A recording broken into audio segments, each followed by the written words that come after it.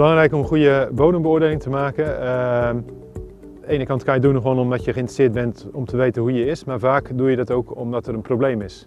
dat kan zijn omdat er bijvoorbeeld een natte plek of zoiets uh, in je bodem zit.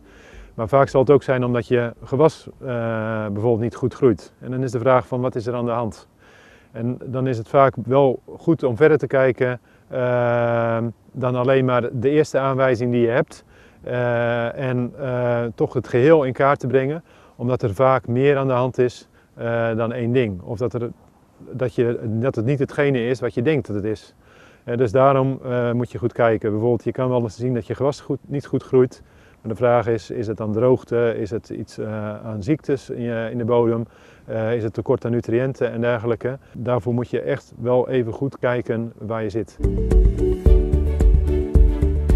Het is goed om, uh, als je dus een probleem constateert of als je die bodem in kaart te brengen, ook goed te weten waar je bent en welk gebied je bent. Dus daarom is het eerst goed om te kijken goed naar het landschap waar je in staat. Wat zijn daar belangrijke kenmerken aan? Uh, die ook bepalen wat, hoe de bodem eruit ziet. En vervolgens is het ook goed te kijken naar het perceel. Is het perceel homogeen of is het juist heel heterogeen? maar ook wat zijn gewoon de karakteristieken van het perceel. En als laatste is het goed om, belang, om in de bodem te kijken. Hè. niet alleen maar naar oppervlakte te kijken, maar ja, ook een kuil te graven of een gat te boren. Om echt te kijken van hoe ziet die bodem er nou uit en waar zit dan eventueel het probleem wat gewasgroei uh, belemmert. Wat we zien in de Hoekse Waard is een heel uh, divers landschap. Het is ook een, een, nationaal landschap.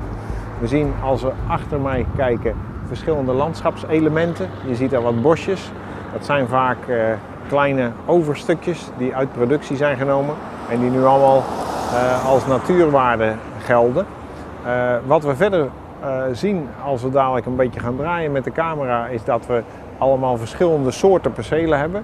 Het zijn niet allemaal mooie rechte kavels, maar het zijn kavels die allerlei vormen hebben. En we zien daar ook de, een stukje spruitenteelt. Uh, ze zijn daar spruiten aan het plukken, is ook een typisch hoeksewaarts gewas. Over het algemeen een, een, goede grond en toch ook wel flinke percelen. Ze zijn allemaal gerend en ja, wat dat betreft is dat weer wat moeilijker werken dan bijvoorbeeld de Flevopolder, waar alles uh, recht toe recht aan is en makkelijker ontsloten dan hier in de Hoekse Waard. Maar het geeft wel een hele mooie indruk met al die landschapselementen die hier zijn. Het is belangrijk om voldoende informatie te vinden en die informatie die haal je niet natuurlijk alleen uit het veld door hier rond te kijken, maar die haal je juist ook heel erg door informatie te verzamelen van websites of uit uh, publicaties en dergelijke.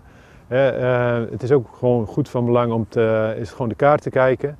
En dan zie je, dat zie je hier ook in het landschap wel, maar wat bijvoorbeeld daar gewoon opvalt, als je hier bijvoorbeeld in de Flevopolder staat, is dat alles heel recht is. Rechte wegen, rechte kavels, rechte sloten.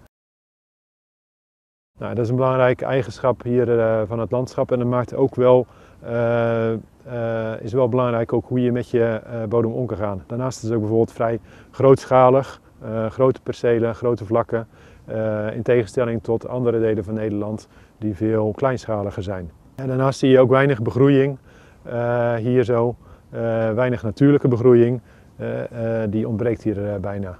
Luchtfoto's kunnen ook bijvoorbeeld heel erg belangrijk zijn. Als je zo'n luchtfoto van boven kijkt, kan je ook al bijvoorbeeld verschillen uh, zien in percelen of tussen percelen.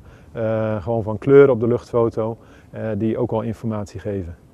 Daarnaast zijn ook andere dingen. Het hoogtebestand. Nou, voor Flevoland misschien niet zo van belang, omdat het hier vlak is en uiteindelijk weinig gebeurt. Maar er zijn veel regio's waar het relatief vlak lijkt, maar waar toch behoorlijke verschillen, hè, dan praat je misschien over enkele tientallen centimeters, uh, aanwezig zijn, die wel van invloed zijn uiteindelijk op variaties in het perceel en hoe uiteindelijk de bodem is en hoe gewassen daarop reageren. Uh, dus daar is ook belangrijke informatie om uh, naar te kijken. Ehm, en daarnaast zijn er ook nog andere websites, ehm, zoals bijvoorbeeld net onlangs gekomen Boer en Bunder, die juist alle openbare informatie over een perceel beschikbaar maakt. Die geeft aan welke gewassen de afgelopen jaren geteeld zijn.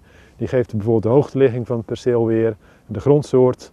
en dat zijn gewoon handige tools om de informatie over je landschap, je bedrijf en je perceel te verzamelen. We hebben het met name over het landschap gehad, welke informatie daarvoor beschikbaar is. Heel veel van de informatie voor landschap, uh, inzoomend, kan je ook uh, op perceelsniveau uh, goed gebruiken. Ehm, maar daarnaast is het ook van belang om goed naar de hydrologische kant te kijken van je perceel. wat is de grondwaterstand? Ook daar is informatie wel van te vinden.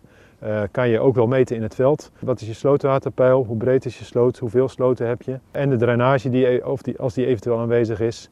Ehm, zijn belangrijke aspecten om mee te nemen in de beoordeling eh, van je perceel.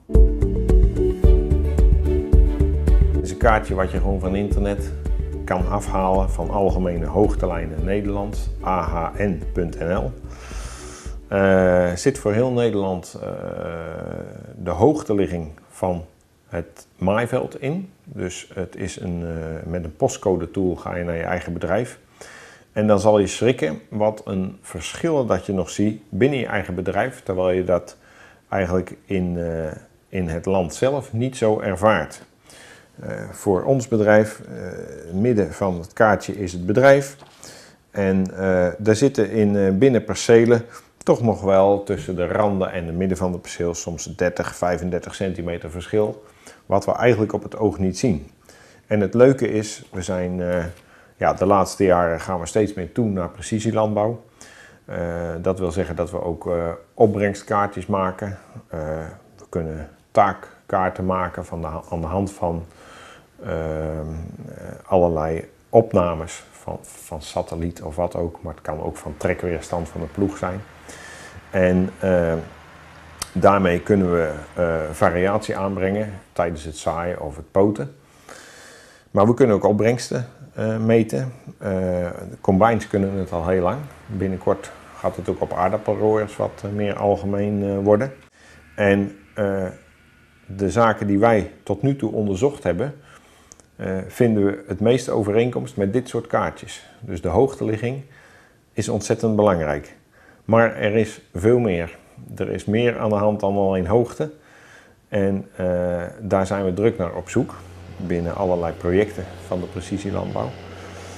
Um, wat in de Hoekse Waard dan heel erg speelt, zijn uh, de, de symptomen die we zien in de gewassen, die uh, te maken hebben met oude processen in de bodem. Denk aan oude kreekruggen, uh, denk aan gedempte sloten.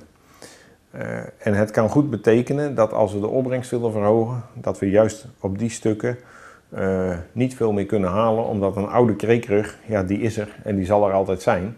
En daar kunnen we niet eventjes wat aan doen. Waar we wel wat aan kunnen doen, is dat er bijvoorbeeld op een perceel een verdichte laag zit.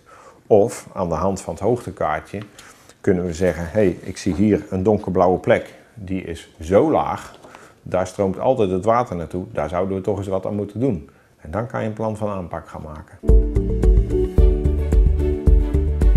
Hoe gaan we nu zachtjes aan in de bodem kijken? Uh, we, hebben, we hebben het gehad inderdaad over uh, oppervlaktewater, uh, verdroging, vernatting.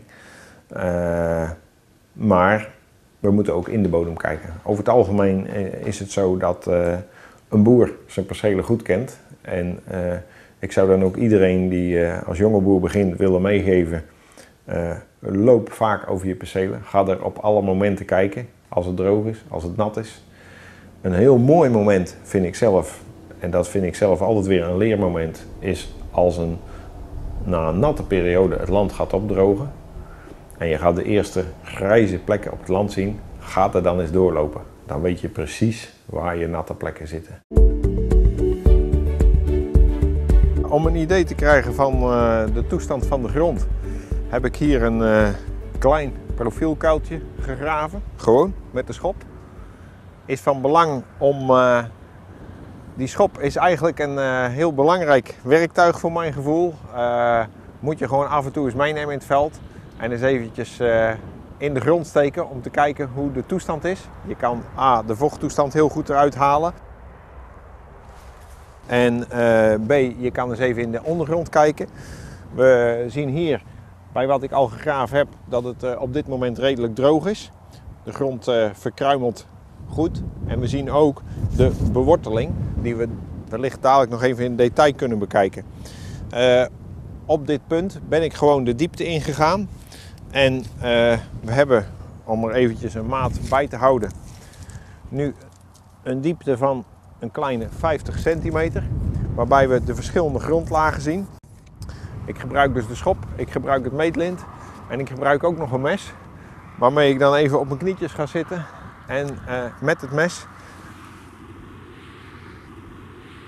het afgestoken deel netjes wat glad maak. Zodat je een heel goed beeld van de beworteling kan krijgen. En dat kan je heel mooi zien uh, als je daar met je mes een klein beetje in zit uh, te vroeten, om het zo maar te zeggen. En dan zie je ook de verschillende lagen. Hier zien we een uh, zandlaag zitten. We zullen dat zo nog even in detail bekijken.